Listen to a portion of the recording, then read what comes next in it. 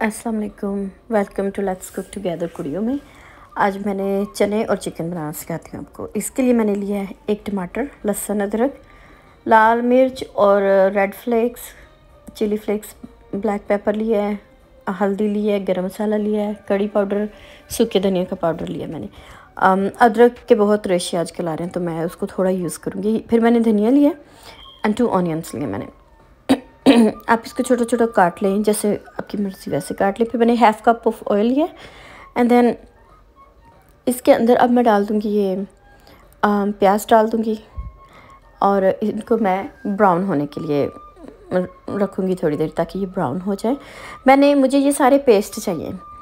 आप चाहें तो इनकी पेस्ट बना लें, लेकिन उसको कुक होने में बहुत टाइम लगता है। तो मैं इनको ब्राउन करके जब पेस्ट बनाती हूँ ना तो उसका टेस्ट जो है ना, वो बिल्कुल आप करके देखिएगा, खाने का टेस्ट ही बदल जाता है। अगर आप पहले पेस्ट बना के बनाते हैं खाना तो उसका टेस्ट और होगा। अगर आप इस तरह इनको ब्राउन करके एंड देन आप इसकी पेस्ट बनाते हैं, उसका फिर टेस्ट और होगा। और मैंने हर चीज़ की पेस्ट बनानी है। मैंने कोई चीज़ भी बीच में नज़र ना आए मसाले में। टमाटर भी डाल के मैं इन सबको पेस्ट करूँगी। ये देखिए मैंने अब इनको एक मिनट या थोड़ा सा बिल्कुल कुक करें। जब लहसुन, अदरक डाल दें। क्योंकि इन्होंने जब मैंने चिकन डालना तो उसके बाद भी इनको मैंने भूनना है। तो थोड़ा सा भून लें और उसके बाद मैंने इसके अंदर बाकी चीज़ें ऐड करनी है। मैं अभी ये कर ही रही थी इसकी आ, इसके लिए मैं एडिट कर रही थी इसको तो मेरा काका गिर गया। सोफे पे ही सोया हुआ था बेचारा शुक्र है नीचे कारपेट था। तो अभी मैं उसको उठा के लेके आई हूँ। सारा दिन गिरता है। जब तक ये हो रहा है मैंने यहाँ पे कहना था कि थोड़ा सा अपना ख्याल रखा करें सब लोग। दिन में तकरीबन दस मिनट अपने लिए निकाल लिया करें सब लड़कियाँ औरतें क्योंकि ये बहुत ज़रूरी है। आपको अपने लिए टाइम निकालना बहुत ज़रूरी है। बच्चे छोटे भी हो ना तो आप लोग थोड़ा सा टाइम निकालें।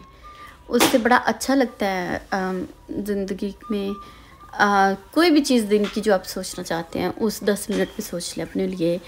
कुछ लिख लें। लिखना बहुत अच्छा है। अगर आप किसी भी चीज़ से बचना चाहते हैं डिप्रेशन से ख़ास तौर पे तो लिखा करें। डायरी लिखें, कुछ भी लिखें। अच्छा ये देखिए, मैंने पेस्ट बना लिए अब इसके अंदर मैंने थोड़ा सा पानी ऐड किया, जैसे मैं पहले भी करती होती हूँ हमेशा। एंड देन मैं मसाले ऐड करती हूँ। एकदम नक नू चढ़ चढ़ना मसाले। पानी ज़रूरी है डालना, ठीक है? ये देखिए, फिर सारे मसाले ऐड कर दें।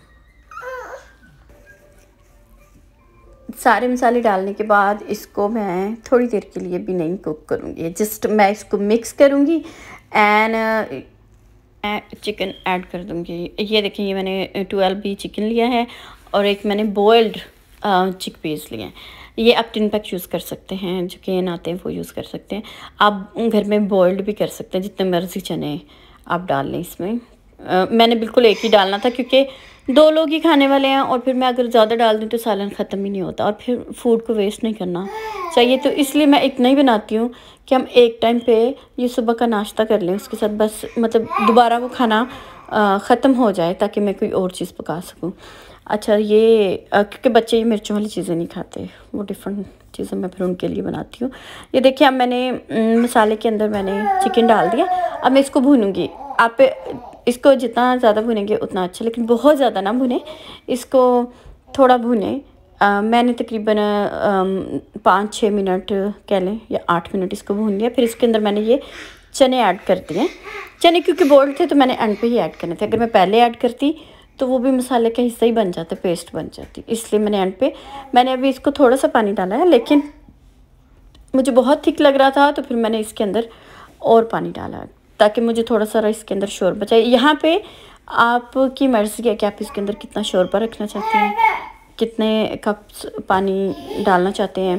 If you want to put two cups that's okay you can add to two cups of water in it और ये देखिए ऊपर से मैंने धनिया डाल दिया है। मैंने इंग्लिश इसलिए बोली कि मैंने लिखा नहीं था तो मैं थोड़ा सा बोल दूँ ताकि um, अगर कोई देख रहा है मेरी फ्रेंड्स देख रही हैं तो उनको समझ लग जाए कि यहाँ पे कितना पानी डालना है। पानी डालने के बाद मैंने उसको कवर कर दिया।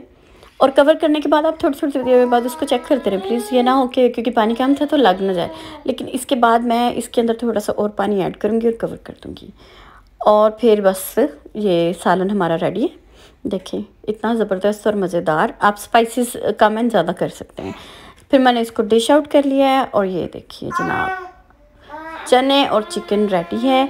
बहुत मज़ेदार से चने और चिकन अब मैं ये तो नहीं कह सकती कि खा के दिखाएँ। बताएँ मुझे। आप खुद बनाएँ और फिर मुझे कमेंट्स करके बताएँ कि कैसा बना था ये सालन और कितना मज़ेदार आपको। अगर आप फ्रेश डालेंगे हर चीज़ तो इन ये बहुत अच्छा बनेगा। तो कोशिश करें कि फ़्रेश ही जब कोई गेस्ट आए तो फ्रेश ही चीज़ें डाल के बनाएँ। उससे उनका टेस्ट खाने का डबल हो जाता है, मज़े का हो जाता है। अपना बहुत सारा ख्याल रखें, मेरे पेज को लाइक करें सब्सक्राइब करें। खुदा हाफिज़।